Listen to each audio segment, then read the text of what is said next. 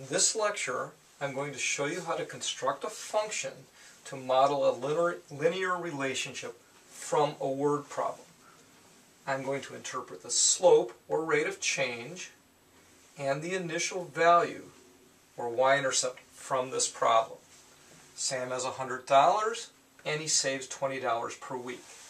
His initial value or his y-intercept is $100. This is what he started out with. Every week he adds 20 more dollars. That is his slope or rate of change. So it's y equals 20x plus 100, his initial value. If I was to graph this, he would start at, at zero weeks, he has $100. At one week, he has $120. At week two, he has $140. And you would graph this by